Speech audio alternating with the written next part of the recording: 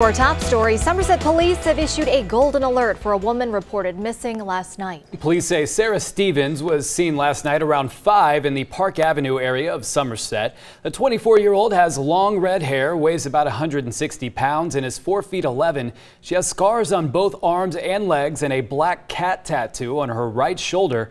If you have any information on Stephens' whereabouts, you should call 911.